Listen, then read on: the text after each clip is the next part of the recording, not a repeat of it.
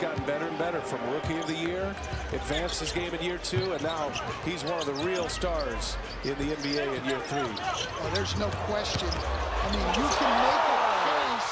Wow, what timing oh, for him to make that move right as you're talking about him. His dad Tee.